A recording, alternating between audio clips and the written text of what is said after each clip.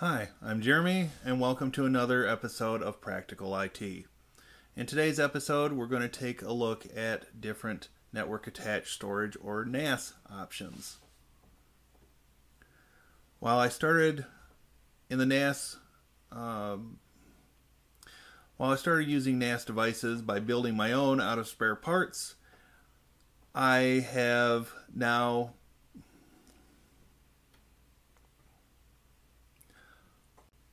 While I started out by using spare parts to build my own NAS, and that was a great learning experience, I do now own several commercial NAS boxes.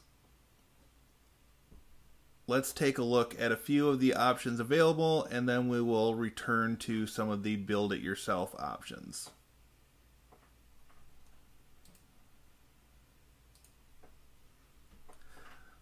The first NAS box I bought was made by Thecus or Thecus, not sure really how you pronounce that. And for the time when I bought it, it was a pretty decent little box. It was a four bay unit, and for what I wanted, it did a nice job. The problem is that after about three years, I was one day no longer able to access the web based administrative panel. Fortunately, since the RAID array in this box was built on Linux software RAID, I was able to take out the four drives, hook them to a standard PC box, rebuild the array, and take my data off those drives. The next box I bought was made by Synology. Synology is known for making fairly inexpensive NAS boxes while providing a very intuitive graphical uh, web-based graphical interface. You can find more about Synology at synology.com. They offer some really compelling features. Neck and neck with Synology in market share and mind share is QNAP. Wanting to keep things as close as possible with my Synology box, I have a 2-bay QNAP uh, NAS, and I have been very impressed with the performance of this. The graphical interface is web-based, and it is very similar in concept to that of the Synology. You can also find some pretty decent sales on the QNAP boxes when you go to buy one of these. Next up is Buffalo. Buffalo is more known or better known for making DDWRT based home routers but they do also have a line of link stations and TeraStations, which are their NAS boxes. I have one of the previous generation Link Station 400 series. I believe the model number is 420D. Uh, as you can see from their web page now, these are discontinued. Um, the Buffalo unit, I, based upon my experiences with the Buffalo unit, I have found the features to be very small in comparison. I don't like it. Compared to the QNAP and Synology boxes, the Link Station model that I have just could not compete. not only were there fewer features available in their web interface, there were not as many updates done to this particular model. The two uh, the QNAP and the Synology box that I have are still receiving updates to this day. Obviously, that was not the case with Buffalo, and that has not received an update in a year or more. Moving on into a couple that I don't have firsthand experiences with. Drobo came onto the market uh, while I was still in college. I have been watching this company fairly closely since then and they do have a very impressive lineup of NAS and direct attached storage boxes.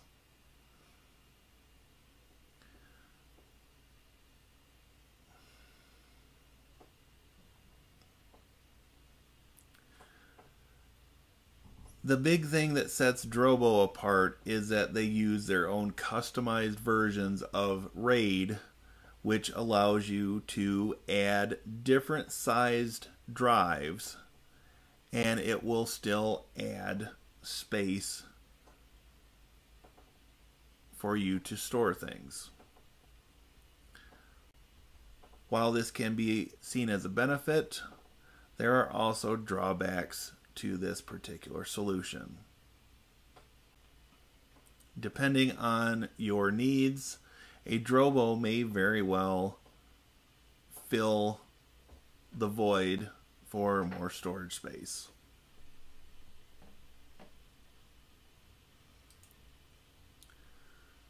The last one we'll take a look at of the commercial boxes is Asustor. As you can probably guess, this is a subsidiary of Asus, which makes a lot of motherboards and PCs and things. Asustor is a relative newcomer, but they have matched or are very close to matching QNAP and Synology feature wise, and they have come onto the market at a disruptive price point. While I don't currently have an Asustor box, this is something that I definitely want to look into in the future.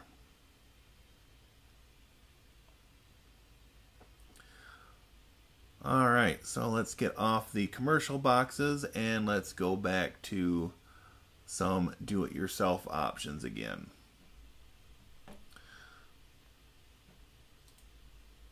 Starting with FreeNAS. FreeNAS is where it all started for me. At the time, FreeNAS was a pre 1.0 version. Now they're up to version 10, I believe. FreeNAS is based on BSD Unix and not on Linux. And while that's neither good nor a bad thing, um,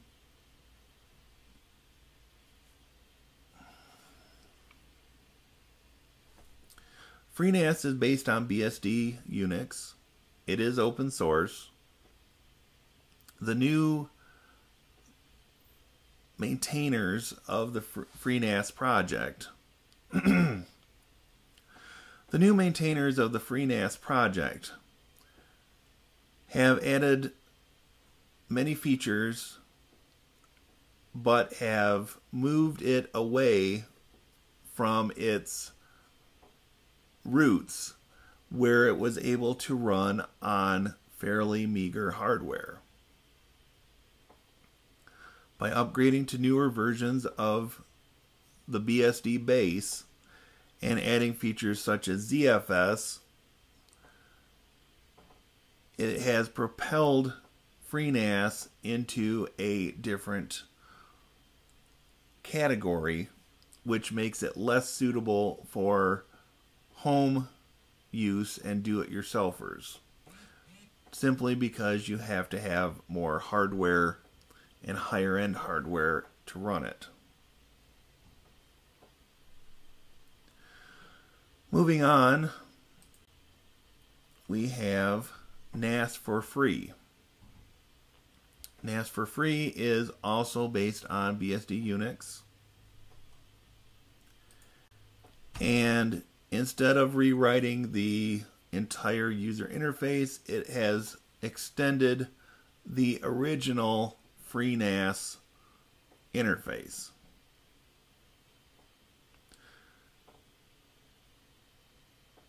NAS4Free is still a viable option for people who want a do it yourself solution and not have necessarily all the features and hardware requirements of the new versions of FreeNAS.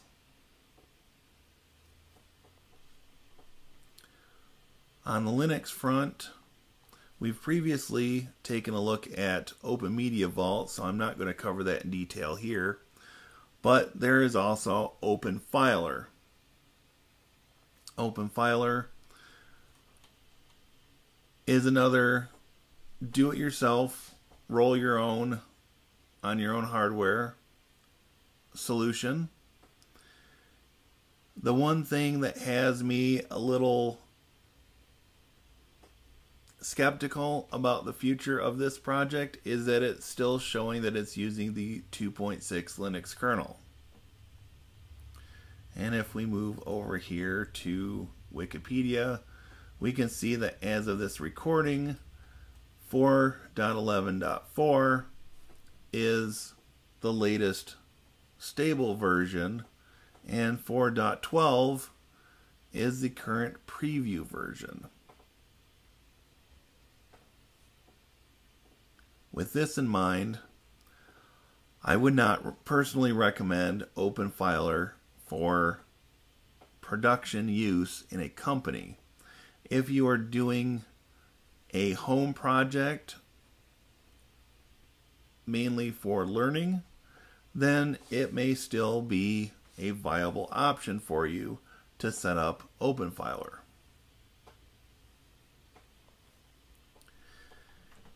And moving on to our last item here, we have Unraid by LimeTech. Unraid also has a Linux base, but they have added some pretty significant features to this, which make it interesting. Also, while Unraid has a Linux base, this is not a purely open source project. You do have to pay for a license. Now, if we look at our pricing page here, you still can get an unlimited attached storage trial for 30 days. After that, you will need to purchase a license. And even if you are building a small box, $59 for a license is not a bad price. Where Unraid has traditionally excelled is that it has offered Drobo like features, meaning that you can take drives of unmatched sizes and put them in the same box and have usable space. This may be a viable option for you if you are building your own system and want to use some of the features they have available. Again, depending on your hardware you may be able to take care of some of the virtualization features that they have built in. On that note, this is Jeremy Leik signing off for like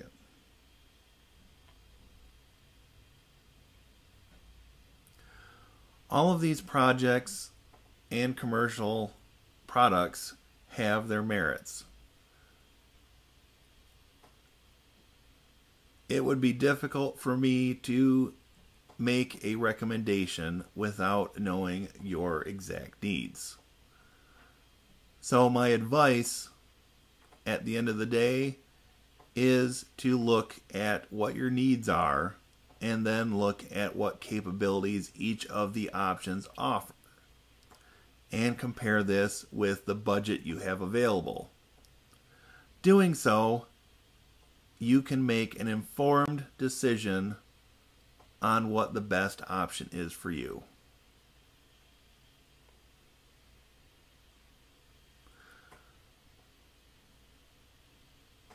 On that note, we've reached the end of another practical IT video.